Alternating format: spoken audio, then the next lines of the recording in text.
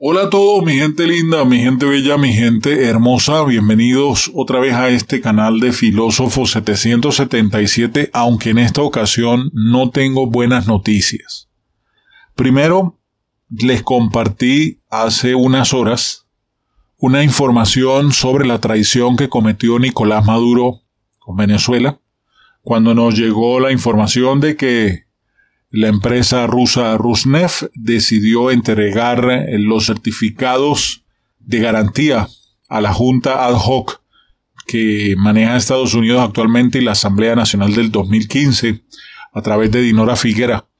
Entregaron eh, esa, ese certificado de garantía por la deuda adquirida por Nicolás Maduro en el año 2016 donde Maduro le había entregado el 49.9% de las acciones de Citgo a cambio de un préstamo personal que él hizo de 1.800 millones de dólares. ¿Para qué?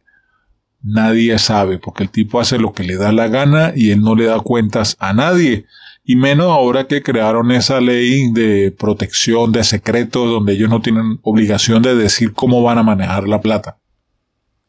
El caso es que ellos le prestaron 1.800 millones y se quedaron con el 51.1%. El 49.9% lo tuvo Rusia por desde el 2016 hasta la fecha. Hasta ahorita entregaron el certificado, lo que quiere decir que recuperamos el 49.9% de las acciones. Pero si ustedes leyeron este titular y están aquí porque leyeron el titular, lamentablemente tengo que informarles que prácticamente nosotros estamos a punto de perder a Sidgo, si no es que ya lo perdimos. Me refiero a que el juez Leonard Stark, juez del Tribunal del Distrito de Estados Unidos, eh, va a, está listo, ya dijo que estaba listo para proceder a la subasta de los activos de Citgo. Un juez de Estados Unidos informó este lunes pasado que ya está listo para que siga adelante el proceso de venta de activos de Citgo de la propiedad venezolana, con el fin de satisfacer los reclamos de los acreedores, indicó una nota la agencia Reuters. Leonard Stark, quien es juez del Tribunal del Distrito de Estados Unidos, dice que no, eh, tampoco solicitará permiso para lanzar la subasta sin tener acciones de PDB Holding, la casa matriz de Citgo. Star ya tiene previsto comenzar reuniones periódicas en el mes de julio con el fin oficial de la Corte que establece el proceso de la subasta, es decir, ya comienza la subasta de Citgo. Venezuela se había opuesto a realizar la subasta sin tener las acciones en posesión judicial.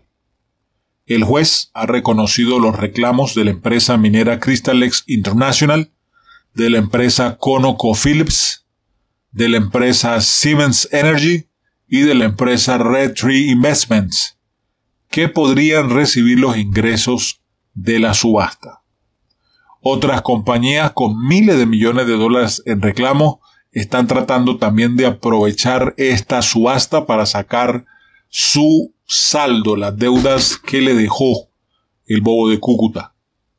A principios de este mes, Horacio Medina, ingeniero petrolero y presidente de la Junta HOC de PDVSA, que había sido nombrada por Juan Gerardo Guaidó Márquez, explicó que Sidgo tiene actualmente en fila un gran número de acreedores y que la deuda que representa o que tienen en estos momentos, escuchen la suma y de verdad siéntense a llorar. Son 21 mil millones de dólares. 21 mil millones de dólares. Estamos hablando de casi la misma cifra que se robó Tarek El y su equipo de PDVSA. Los números discrepan. De Tarek El Isami se habla que son 23 mil, 24 mil, 25 mil millones. Y la deuda que dejó Maduro con Sidgo y que no fueron amortizadas por Juan Guaidó en su tiempo porque la quiso dilatar Y recordemos que Juan Guaidó agarró Cidgo y desde el momento en que agarró y le puso la mano a Cidgo, Cidgo empezó a tener pérdidas tras pérdidas tras pérdidas. Hasta el 2018, Cidgo, a pesar de las deudas de Maduro, reportaba ganancias. Usted mira los libros contables del 2012, 2013, 2015, 2016, 2017, 2018, habían ganancias. Pero llegó a la mano de Juan Guaidó 2019 y empezó a registrar pérdidas en el 2019, pérdidas en el 2020, pérdidas en el 2021, hasta que Estados Unidos, plum, metió la mano. Mete la mano, mete una junta interventora que supervisara también así algo similar a lo que pasó con monómeros, y en el 2022, a partir del segundo trimestre del 2022, comenzó a reportar ganancias porque de ahí ya no empezaban a sacar plata, de ahí a la Junta ad hoc no pudo movilizar dinero para el gobierno intestino de Venezuela. De ahí donde viene la desaparición de mucha plata, de mucha, mucha plata en manos de Juan Guaidó. Ahí está la empresa, los 100, las 100 empresas que maneja el hermano de Juan Guaidó. Entre esos tienen dos flotas de taxis en Madrid, del papá. Tienen cuentas en Liechtenstein. Tienen cuentas en Luxemburgo. Tienen 100 empresas de las cuales 40 son reales y 60 son de maletín. ¿Ah? entonces resulta que en todo ese tiempo que ellos administraron y reportaron pérdidas, que lo más curioso era que Cidgo no tenía por qué reportar pérdidas porque podía comprar y vender petróleo de manera normal, porque sobre Cidgo no había ninguna sanción. Eso para que usted entienda, sobre Cidgo nunca hubo sanción. La sanción estaba sobre PDVSA en Venezuela. Cidgo es la filial que está en Estados Unidos, específicamente en Texas, y allí donde se manejaba, se compraba, se procesaba, se hacía todas las operaciones que ellos querían hacer. Ellos podían comprar petróleo de otro país, procesarlo, refinarlo, venderlo. Ellos manejan cientos de gasolineras en territorio estadounidense y canadiense. Cidgo tenía cómo manejar, por eso nunca reportaba pérdidas. Malo fue que le puso la mano Juan Guaidó y su junta ad hoc y vinieron a dilapidar y en vez de empezar a pagar a los tenedores de la deuda 2020 e ir quitándose esa deuda de encima y recuperando las acciones, no, ellos se afianzaron en pagar abogados y pagar abogados para que bloquearan las liquidaciones, bloquearan las liquidaciones, se fueron acumulando los intereses, los intereses, los intereses y ahora esa deuda que era una deuda de aproximadamente 12 mil millones de dólares, se convirtió en una deuda de 21 mil millones de dólares. Si ven lo que es ser bruto? Por eso yo a veces digo, o sea, ¿qué tiene que ver un ingeniero en la administración de un país? Qué pena, mis queridos ingenieros, con todo el dolor de alma, yo sé, somos profesionales, cada quien es digno, pero no es lo mismo comparar a un economista, a un administrador de empresas, a un empresario, que poner al frente un ingeniero, a un militar, no es lo mismo. No es lo mismo.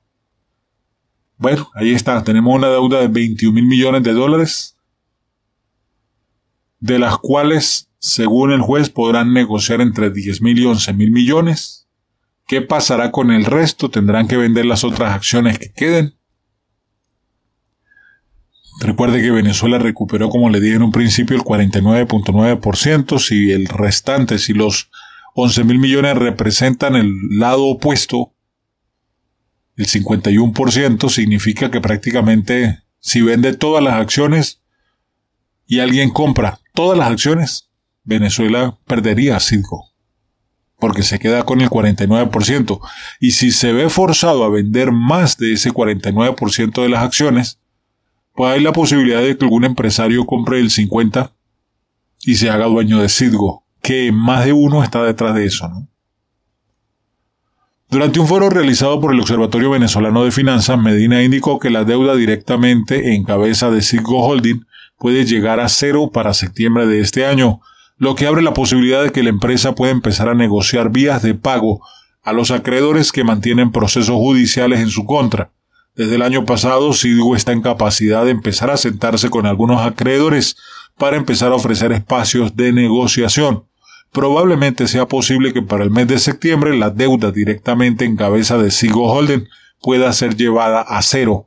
Se abre una nueva oportunidad de endeudamiento, pero para pagarle a los acreedores tenemos algunas formas de hacer el pago. En fin, hay una gama de posibilidades para resolver cosas que no teníamos hace cuatro años, dijo Horacio Medina. Aquí tiene que ver el gerente, la capacidad de gerencia que tenga. ¿Por qué? Porque si ellos no quieren vender eh, las acciones, sino crear proyectos conjuntos y vender el proyecto, porque esa es una de las ideas que puede surgir y se las estoy dando y no les estoy cobrando nada. Vamos a suponer que ellos tienen un estudio para abrir un pozo petrolero en tal parte y ese puede generar una ganancia anual de tantos miles de millones.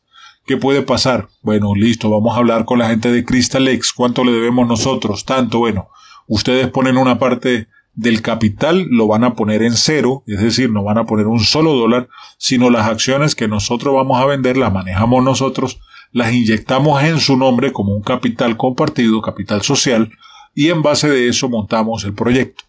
Ustedes nos ayudan eh, con apoyo técnico, con maquinaria, qué sé yo, nosotros ponemos los recursos económicos, ponemos el personal, lo ponemos a trabajar y si el pozo petrolero da lo que nosotros queremos, automáticamente en cuestión de un año ya no tenemos deuda, la deuda queda en cero y empezamos a repartir ganancias. Así de sencillo. Son estrategias, son ideas que se pueden crear.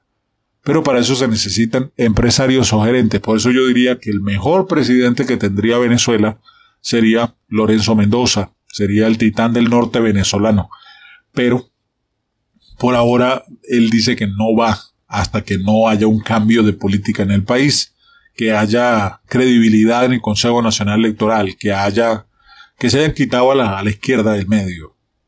Entonces, por esa razón, hoy es María Corina Machado y su equipo de economistas, tremendo equipo de economistas que la rodea. Yo creo que podemos llegar lejos. María Corina, te apoyo 100%. Vamos adelante, ¿ok? Entonces, esta es la mala noticia que puede tener algún cambio y todo va a depender de la sutileza de la gerencia de la Junta ad hoc, de que se apruebe, de que alguna de estas empresas aprueben proyectos conjuntos o negociaciones de redeuda, compra de deuda con mayores intereses a más largo plazo. O sea, hay muchas opciones, pero tienen que empezar a sentarse a dialogar. Ojalá y no perdamos higo. Ojalá y y logremos salvar a esta empresa venezolana en los Estados Unidos. Me despido. Un abrazo, rompecostillas, los quiero mucho. Bendiciones y no olvide visitar autodidactamillonario.com, el lugar donde vas a aprender a ganar dinero. Eso sí, tienes que verte el video primero antes de pedir la información de los cursos. Si no ves el video que está allí en la plataforma y estás en Venezuela, Cuba o Nicaragua, no te va a salir nada. Tienes que ver el video primero si estás en Venezuela en Cuba o Nicaragua. Te lo repito, si estás en Venezuela, en Cuba o en Nicaragua, tienes que ver el video que está en autodidactamillonario.com. Si estás fuera de esos tres países, entra tranquilamente y mira el curso que te interesa. ¿Ok? Hasta la próxima. Bendiciones y recuerda, pa'lante es para allá.